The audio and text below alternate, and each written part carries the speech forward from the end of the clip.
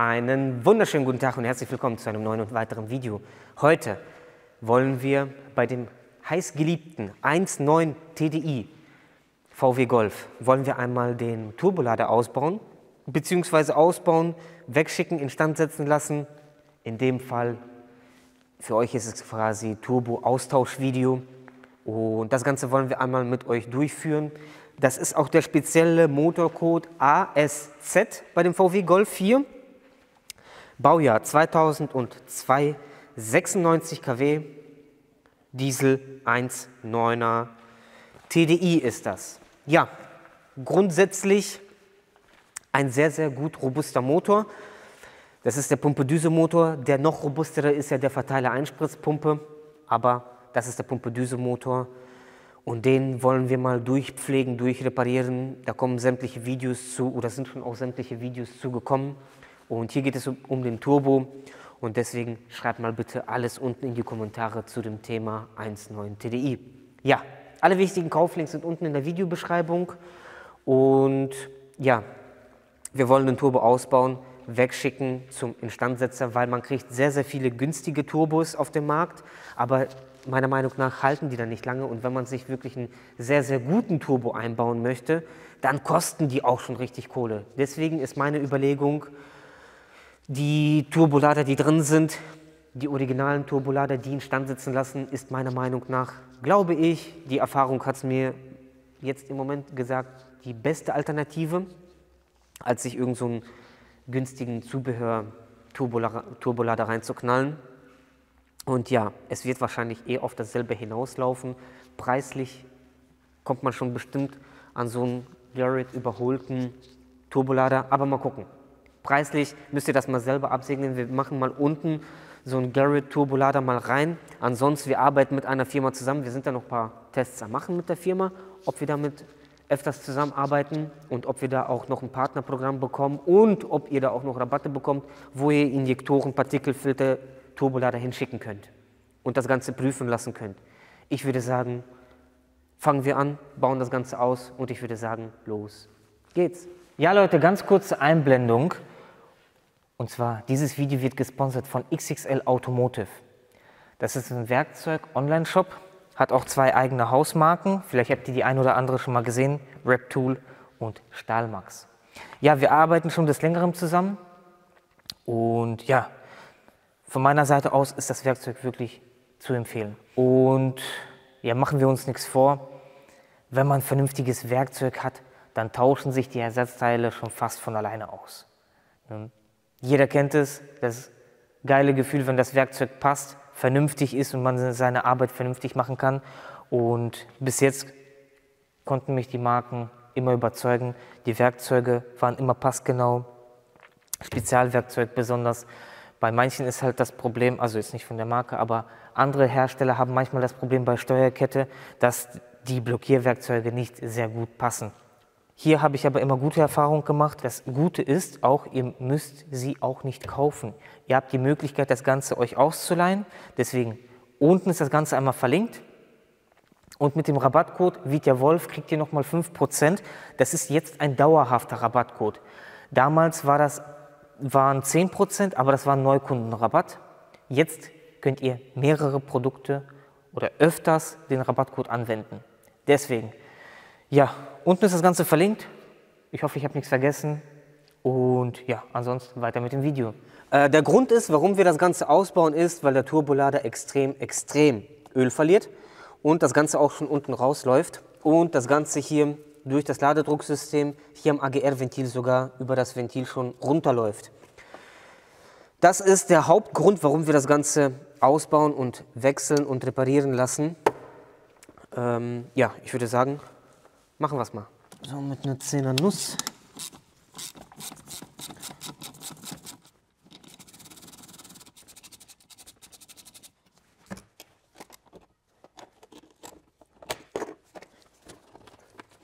Wir schrauben hier einfach erstmal alles ab und können den dann eigentlich nach unten hin rausholen. Weil diese Ansaugleitung, die geht unten zum Turbo hin.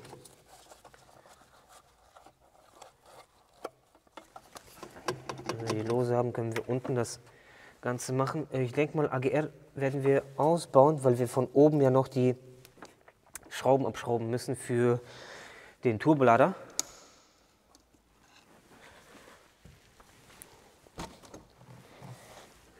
Schon das ganze Elend sehen.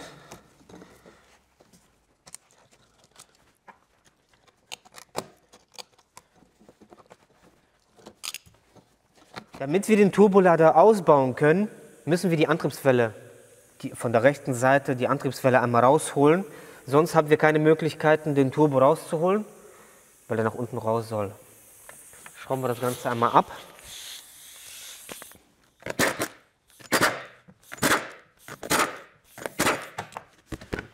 Ganz wichtig ist es, mit einer 30er, 30 mm Nuss einmal die Schraube von der Antriebswelle abschrauben.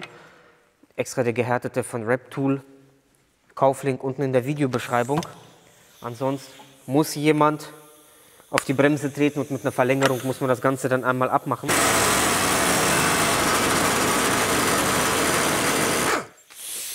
Aber sieht gut aus. Ja, ich denke mal, Antriebswelle machen wir mal im Speed-Modus, wie wir die rausholen, weil im Prinzip ist es ja Querlenker, alles einmal abschrauben, runter, das Ganze zur Seite, Antriebswelle auf der Getriebeseite abschrauben, das filmen wir noch mit. Aber alles einmal im Speed-Modus.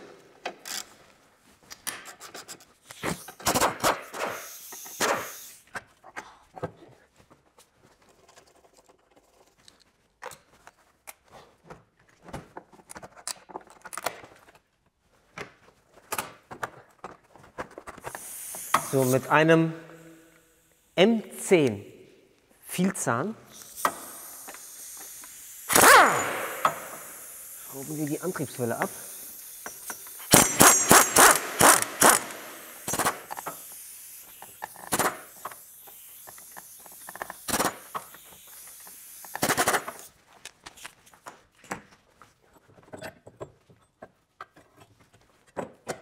Dann können wir hier den ganzen Teil abmachen.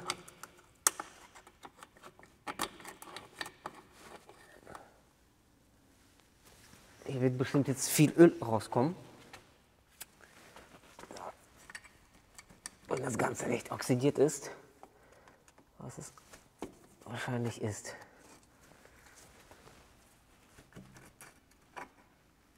Na, doch nicht. Ist wahrscheinlich alles in den Ladeluftkühler reingelaufen.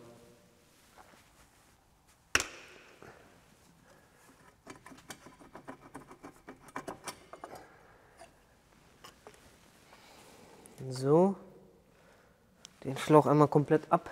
Der Teil kann eigentlich dran bleiben. Dann schrauben wir einmal die Auspuffschelle ab, die Halterung hier ab, weil wir Cut mit Flexrohr komplett rausholen werden. Das Ganze mit Rostlöser hatte ich schon vorher eingesprüht gehabt, weil das Ganze ist schon sehr vergammelt und kann ziemlich in die Hose gehen. Aber wir probieren es mal ob sich das Ganze lösen wird. Hier sollte ein 13er. Ja. Ich glaube, das wurde auch mal geschweißt, geflext und dementsprechend ist das gängig. Ja, hier sieht schon schwieriger aus.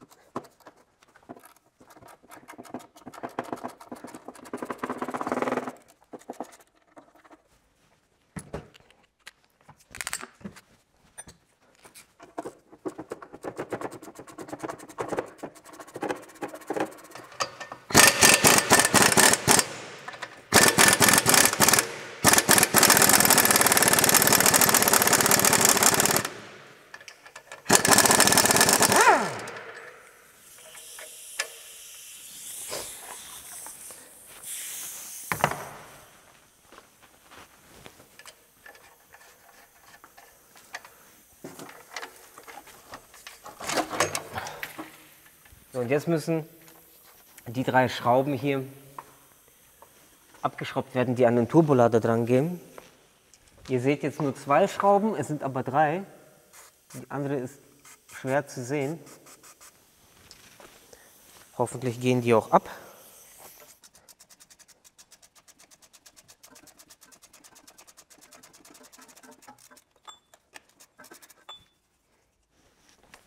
Übrigens 13er Nuss.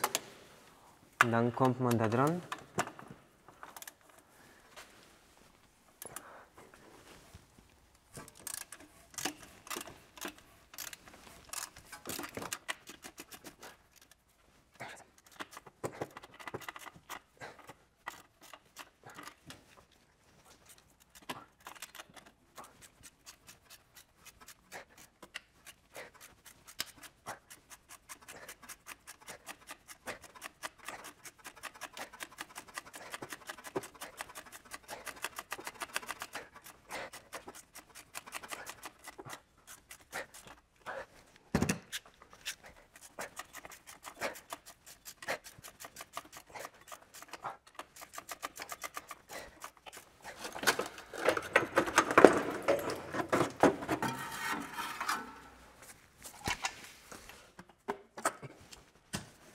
Also dann können wir den Ansaugschlauch eigentlich, glaube ich, noch oben hin rausholen.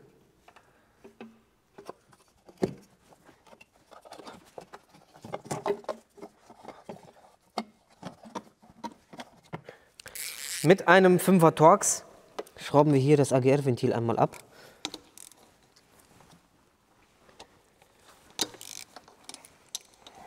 Das müssten drei Schrauben sein wenn man an die dritte dran kommt. Nein, leider nicht. Müssen wir eine vorher abschrauben.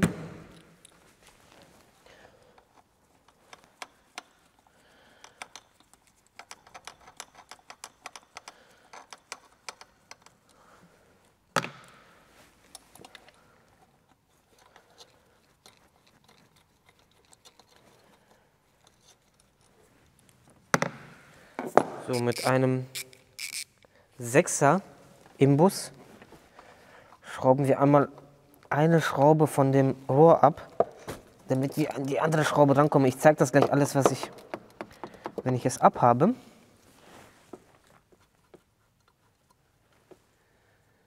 Weil das AGR-Ventil ist auf drei Schrauben festgeschraubt an der Ansaugbrücke.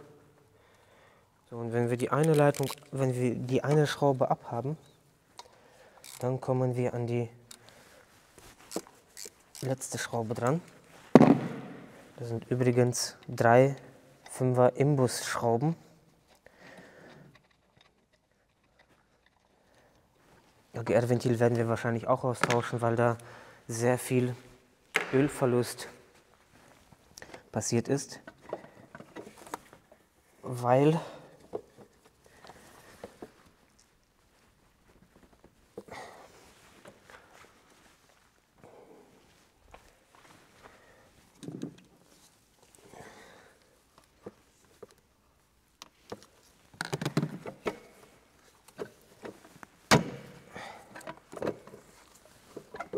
weil der hier auch schon wahrscheinlich undicht ist und das Ganze hier entlang gelaufen ist. Und der auch echt nicht mehr schön aussieht. Aber gucken wir mal. So, die zwei Muttern habe ich auch abgeschraubt, war befestigt. Das geht nämlich zum Turbolader bzw. zum Abgaskrümmer.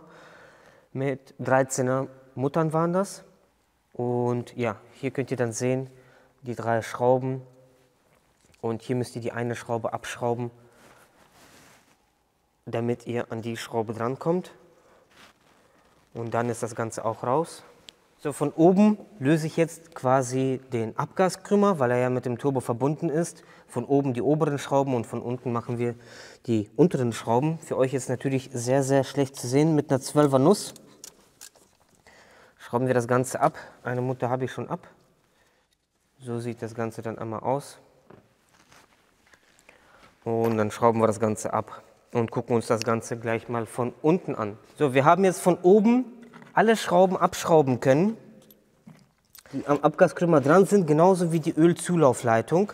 Zeige ich euch alles, wenn wir gleich raus haben. Die Ölzulaufleitung ist leider kaputt gegangen, ist sowieso zu empfehlen, die auch neu zu machen. Aber zeigen wir mal. Aus der Position könnte man am besten zugucken. Wir müssen jetzt einmal die Unterdruckleitung abmachen, die an die Unterdruckdose dran geht. Weggegammelt ist die. Alles vergammelt hier. Die Leitung können wir auch gleich abkneifen. Alles verölt, alles kaputt. Also jetzt müssen wir die Ölzulaufleitung abschrauben und die letzte Halterung hier unten 13er müsste da sein.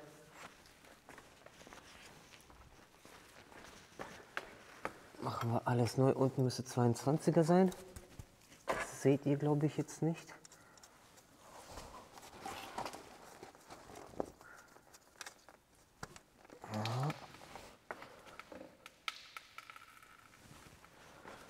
Und mit einem 13er Schlüssel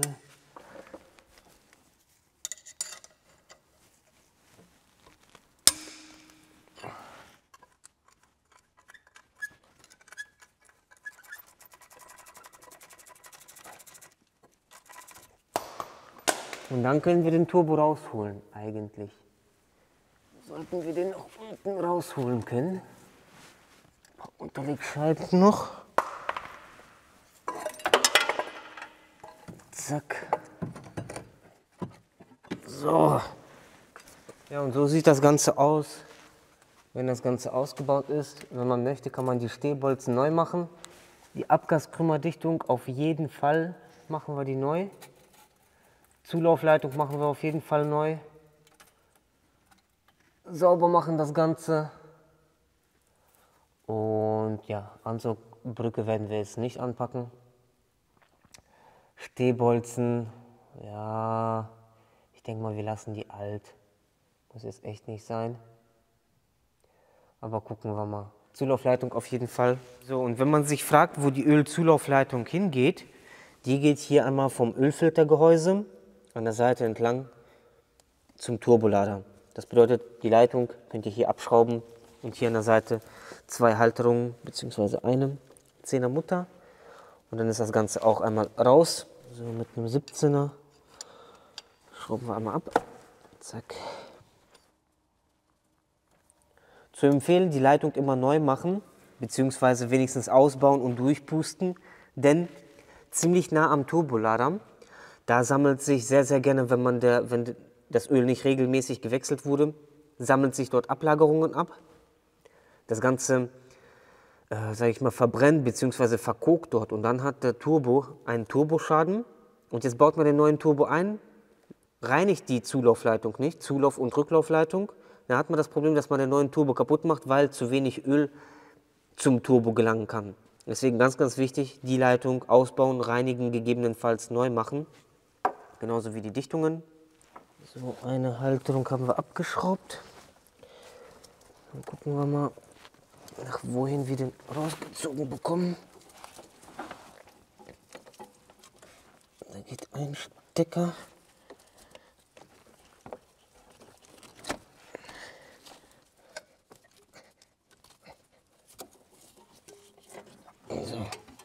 Nach vorne hin rausgeschoben bekommen wir das. Die Leitung ist auch noch ziemlich stark oxidiert. So sieht das Ganze dann einmal aus. Und durch dieses Röhrchen gelangt dann einmal, achso, der ist natürlich auch festgeschraubt am Turbolader, aber wenn ihr den abhabt, dann hat sich das Ganze auch erledigt. Und dann hier an der Seite eine 10er Schraube. Und dann habt ihr die Geschichte einmal ausgebaut. Ja Leute, ich habe leider vergessen, den alten Turbolader ein bisschen zu zeigen, wie der von innen aussieht.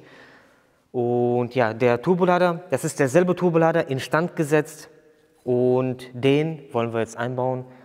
Ja, Versand, wie lange hat es gedauert? Montag weggeschickt, Donnerstag war er wieder da und wir haben denselben originalen Turbolader. Und wie gesagt, wir arbeiten da mit einer Firma zusammen, falls irgendjemand Turbolader, Injektoren, Partikelfilter wegschicken möchte, da wird in Zukunft unten ein Link sein, wo ihr das Ganze hinschicken könnt euch instand setzen lassen könnt, weil meiner Meinung nach, man kann sich wirklich günstige Turbolader kaufen. 200, äh, 250 Euro circa kriegt man schon einen Zubehör-Turbolader, aber da weißt du meiner Meinung nach nicht, manchmal hast du Glück, manchmal hast du Pech. Und wenn du einen Original Garrett, einen originalen Turbolader oder einen Garrett Turbolader reinstecken möchtest, dann bist du locker bei 700 Euro circa. Und Zubehör Turbolader bist du bei 250. Und das Problem ist halt meiner Meinung nach, du machst ihn rein und sollte da irgendwelche Probleme kommen, dann sagt, dann hast du natürlich Garantie, aber das Problem ist, bau den da wieder raus, schick ihn weg, besprich das, E-Mail hin und her, der E-Mail-Verkehr, alles etwas krampfmäßig. Du kriegst es dann eventuell durchgedrückt, wenn du das natürlich mit Rechnung verbaut hast. Aber allein dieser, dieser Ärger, Auto bleibt stehen, Turbo muss wieder raus, weggeschickt werden auf Garantie. Ja, natürlich kann das auch bei einem Garrett Turbolader passieren, natürlich kann das auch bei einem Originalen passieren, aber da ist die Wahrscheinlichkeit meiner Meinung nach weniger. Deswegen schreibt bitte alles unten in die Kommentare. Und so könnt ihr euren Turbolader ausbauen und euren Turbolader. Natürlich kann, was noch passieren kann, ist, man bestellt den falschen Turbolader, weil eine Kleinigkeit da nicht passt. Halterung passt nicht, irgendwas passt nicht, weil von Fahrgestellnummer bis Fahrgestellnummer und ihr kennt das, wenn man ab und zu mal Ersatzteile für sein Auto bestellt und dann nicht die passenden Teile auswählt. Passiert sogar mir, weil das, da gibt es wirklich von Modell zu Modell, von Fahrgestellnummer zu Fahrgestellnummer Unterschiede. Und so habt ihr wirklich euren Turbolader, den schickt ihr weg, könnt nachfragen, ey, was ist mit dem Turbo passiert? Warum ist er kaputt gegangen? Ist mein Partikelfilter voll? Was ist mit dem passiert?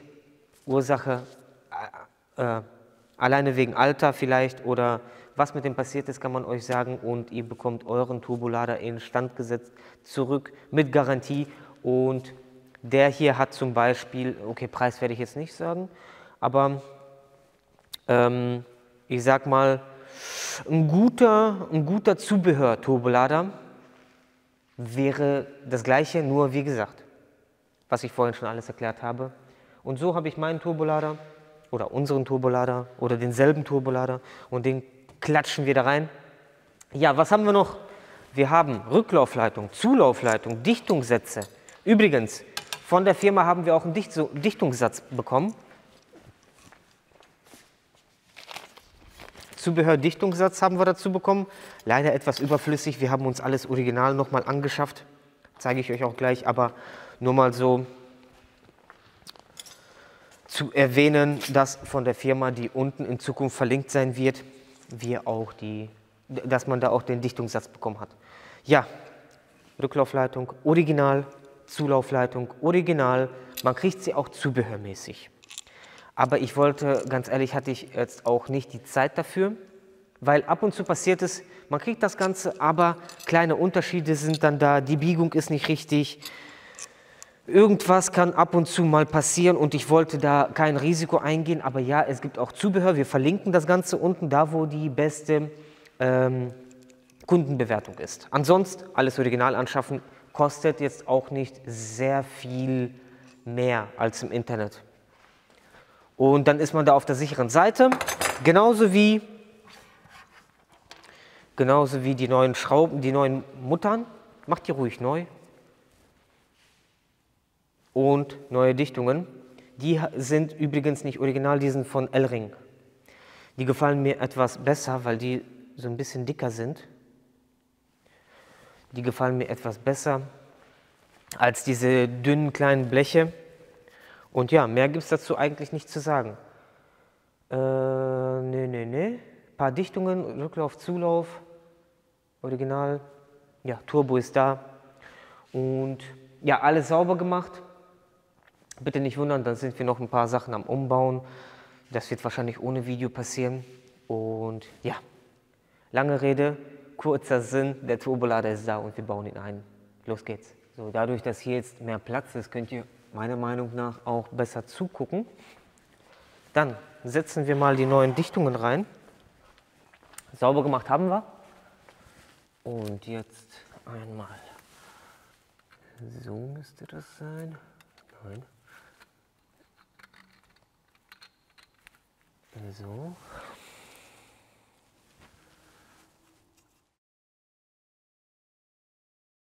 Und jetzt kommt der Turbo wieder rein. So, Stehbolzen haben wir alt gelassen. Sollte nicht viel passieren.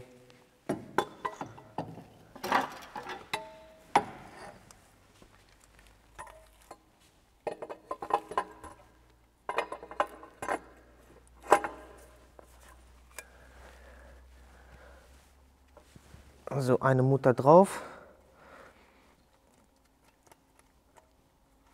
Damit uns der Kollege nicht mehr runterfallen kann. So, dann setzen wir mal die ganzen Muttern drauf. Jetzt einmal alles festmachen. Ich habe schon ein paar von oben, von unten festgemacht. Fest.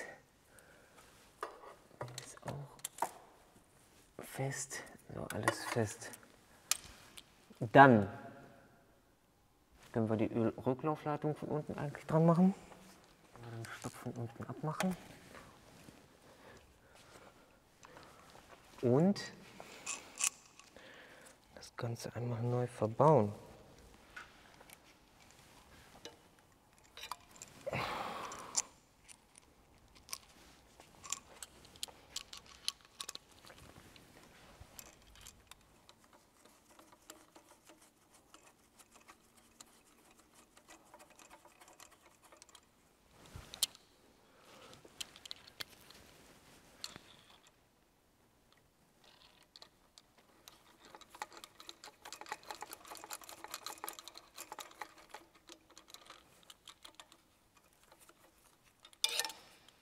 So, erstmal hier festmachen. Und dann hier.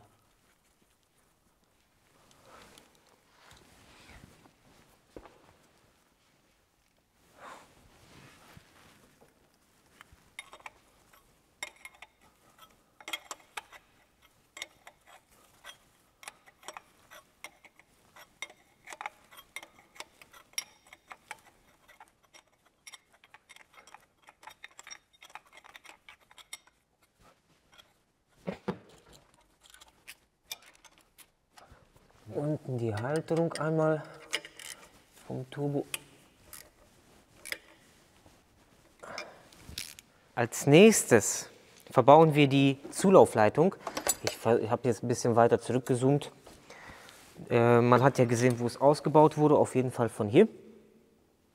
Das Ganze auch sauber gemacht. Und ganz wichtig ist natürlich, neue Dichtungen sowie Hohlschraube neu mit dabei.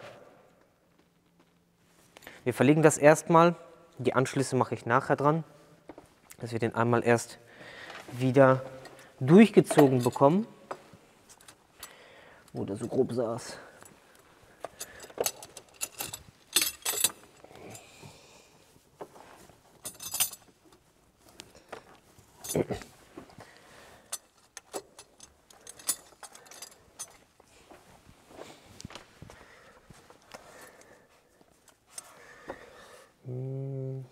Das ist schon mal falsch rum. Das muss nämlich unten durch. So. Das ist doch schon mal grob richtig. Und in Richtung Turbo.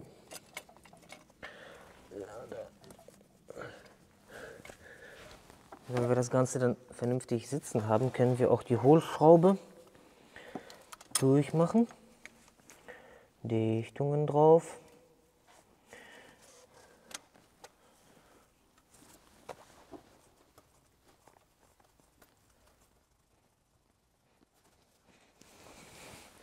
Und das Ganze vernünftig festziehen.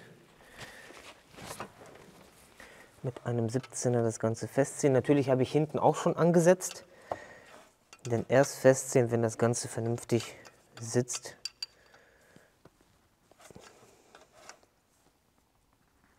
Und ganz wichtig natürlich bei neuen Turboladern, die Hohlschraube habe ich jetzt nochmal abgemacht. Ihr werdet das etwas schlecht sehen, aber macht in den Turbo mit einer Spritze Öl rein, damit er in den ersten Sekunden nicht trocken läuft. Das ist natürlich ganz, ganz wichtig.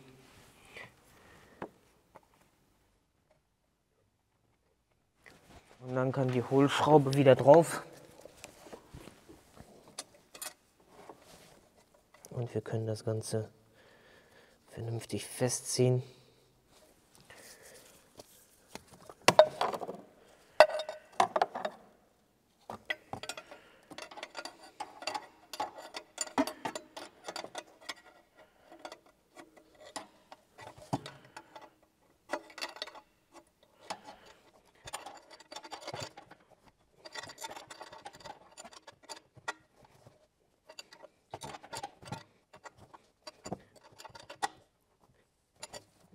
So, dann wieder die ganze Hitzeschutzblechgeschichte reinmachen.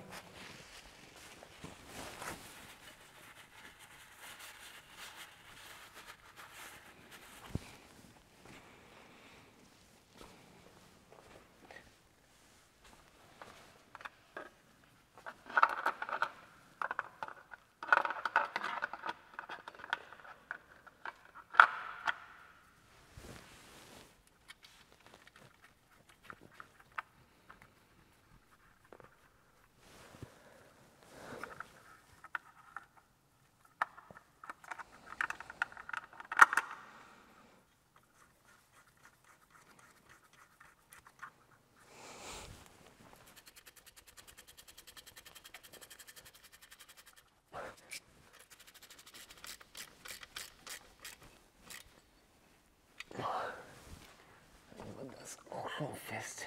Jetzt können wir den Ladedruckschlauch wieder draufpacken. Wieder drauf machen die komplette Geschichte.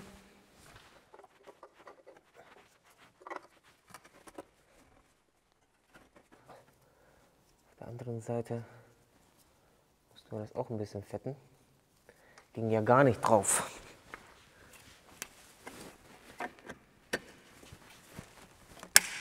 So den schon mal drauf. Und als nächstes bauen wir AGR wieder zurück. Ich hoffe, von der Beleuchtung her geht es. Einmal die Dichtung wieder drauf. Machen das mal so. Ja. Und dann bauen wir das Ganze wieder zurück.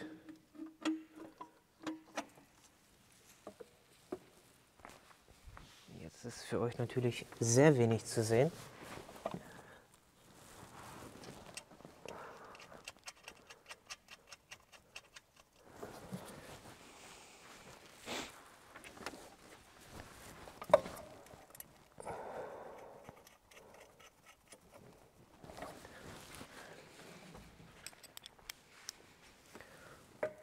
Setzen hier die ganzen Schrauben an, aber hier sollte es ja schon für den einen oder anderen bekannt sein.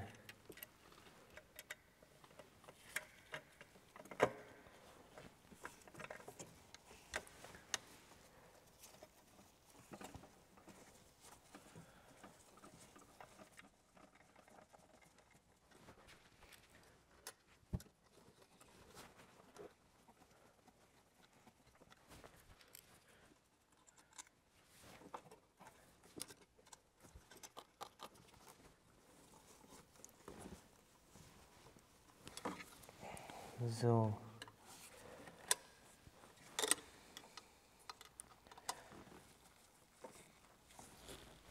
Alles natürlich festziehen, dass das Ganze fest ist.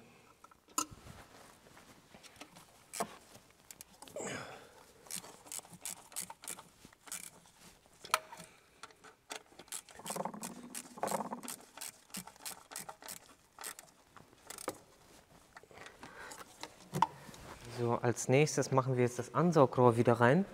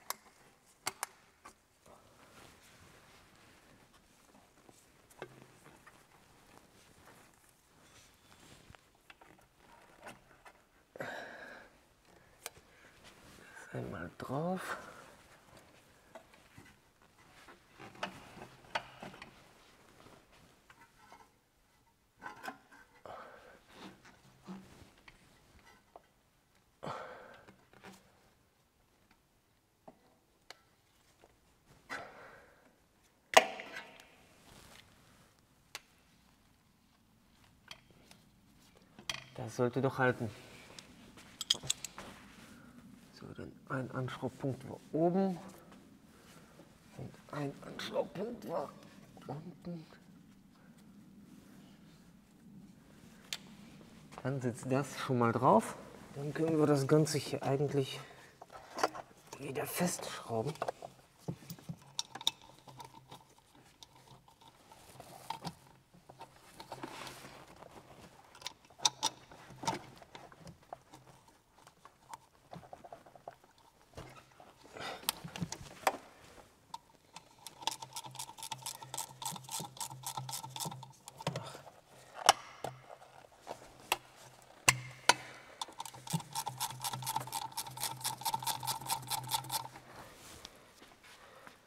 Schraube werdet ihr nicht sehen.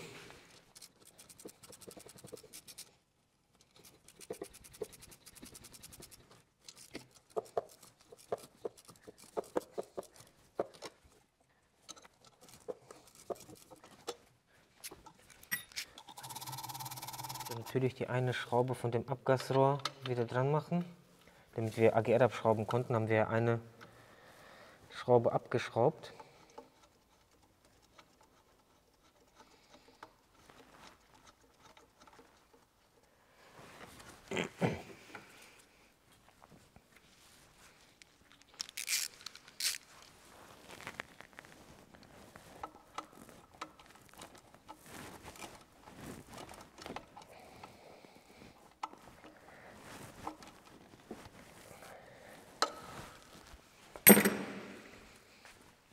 und den Ladedruckschlauch wieder drauf.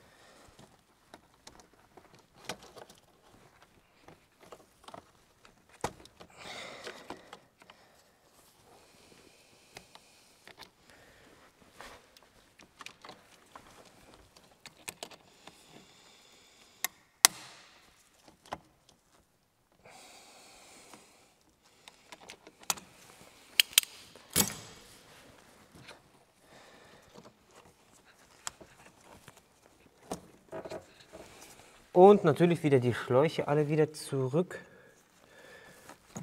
Also der kam nämlich nach unten. Nach unten hin wieder verlegen zum Turbo. So, der kam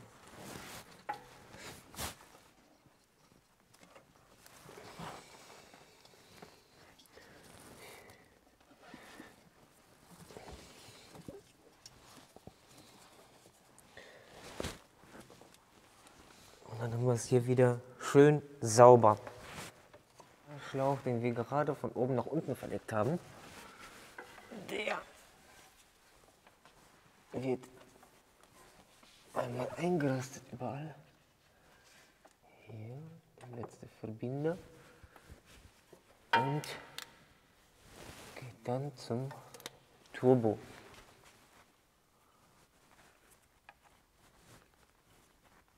An die Unterdruckdose. So, dann haben wir ansaugseitig, ölseitig, alles erledigt, ist nur noch Auspuff dran.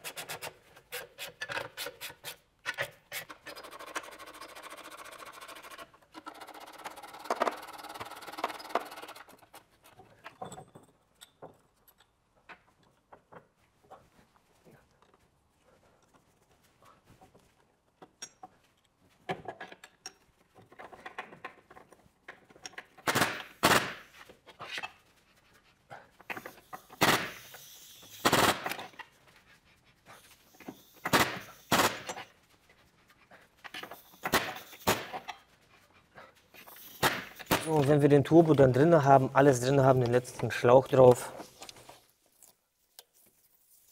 können wir den eigentlich gleich starten.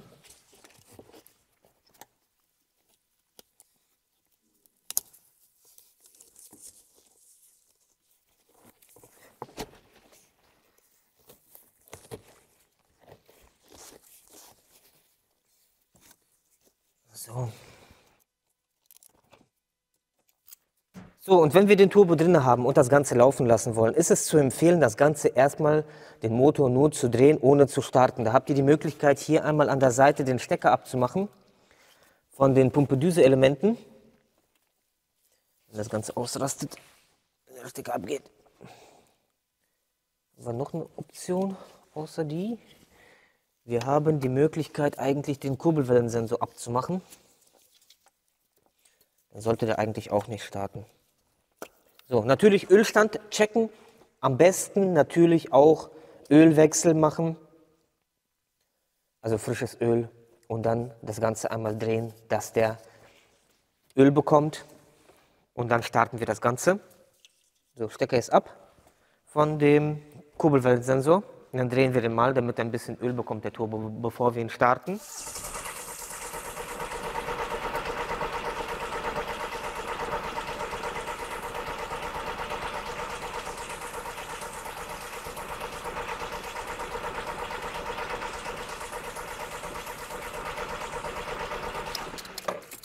Dann machen wir den Stecker wieder drauf und können das Ganze wieder vernünftig starten.